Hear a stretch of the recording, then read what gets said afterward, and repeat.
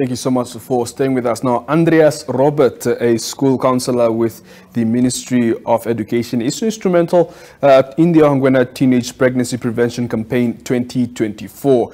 Now, this campaign aims to address the high rates of teenage pregnancy in the Ohangwena region and provide support and resources to young people. Andreas is also the program facilitator for the campaign and he now joins us telephonically all the way from Eenhana. Very good evening to you. Thank you so much for joining us, Robert.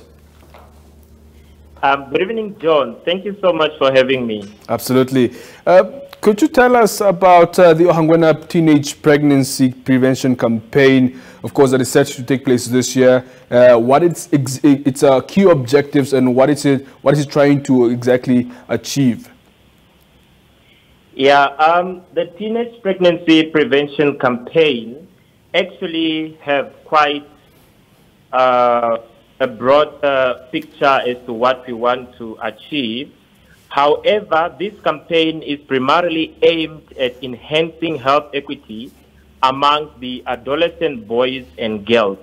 Now, if we look at the health equity amongst adolescent boys and girls within the rural area and the city. There, there's quite a big number, and this campaign wants to curb mm. that uh, differences. For example, John, if you look at the statistics of teenage pregnancy that have been recorded in the Khomas region compared to the statistics of teenage pregnancy in the Ohangwena region, right. you realize that uh, Khomas is more populated than Ohangwena, but however, Khomas has less uh, learners that are getting pregnant because and now this is a result of health equity that is not balanced uh, when it comes to the rural area and the towns. and bit. the other objective, yeah. we want to provide a platform where teenagers can openly talk about sex and associated consequences such as the STIs that comes with teenage pregnancy, I mean, uh, many a times our learners are only afraid of getting pregnant right. because that is what is visible and people can laugh at that.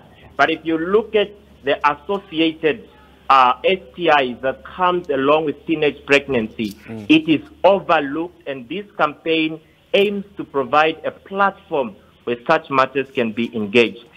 Very well. Uh, could you perhaps just expand a little bit, a little bit, bit more um, on why exactly you think the statistics are much higher in the northern region, specifically the Ohangwena, where you are, of course, going to be tackling this compared to other regions in the country? Yeah, that, that comes back again to access to information. I mean, if we look at the statistics that have been recorded recently, John, right. it indicates that in the Ohangwena region alone, we have about 9,077 girls that fell pregnant between the year 2020 and April 2024. Mm-hmm. Now, in the statistics that I've just mentioned, which is 9,077, 283 learners are below the age of 14, of which the youngest mother is nine years old. So it, it, these statistics are quite alarming, and it's what attracted us to, to come and host the campaign here in the Ohangwena region. Mm.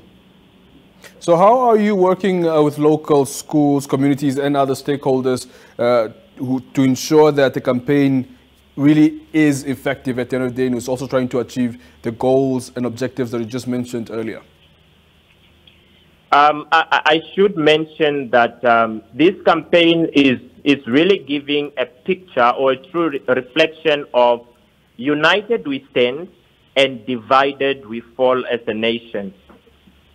I mean, the Hilders Women and Youth Empowerment Organization, a very small, or let me rather say, an establishing NGO from Okahandja, has the aim of empowering the young people has the aim of targeting and curbing the number of teenage pregnancies within the country.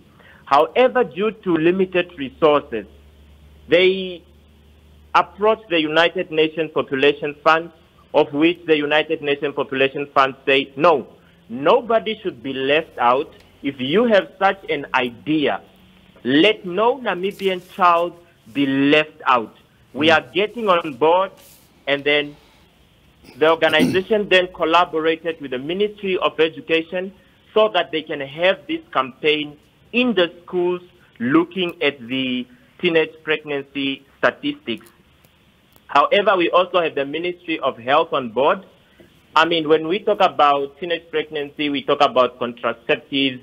We also have a backing from the Ministry of Health, mm-hmm. where they provide um, a health profession to come and talk about um, the type of contraceptives. They speak about the uh, the referrals, where the learners should find these services. And also in collaboration with this campaign, we have the Legal Assistance Center, of which they now speak about um, the Child Protection Act, what is a child's right and what is a child's responsibility that comes with this, with this right. Very well. And uh, the outcomes of this uh, program, what are, you, what are you expecting to be the outcome of this initiative uh, when it's fully uh, or finally completed? Uh, this campaign, we really want to reduce the rate of teenage pregnancy in Ohangwena region, John. As I just mentioned today, we were joined by a health profession from the Ministry of Education, where he, ha- he highlighted that alone this year, mm. from January to date, Ohangwena region have already recorded 1,088 learners that fell pregnant.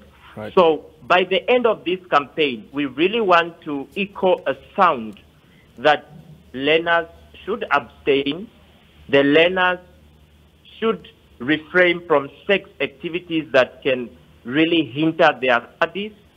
We want to improve clinical visits because the healthcare pro profession also says that the learners do not come to the hospitals to seek medical uh, advice because they are they have that uh, stereotype.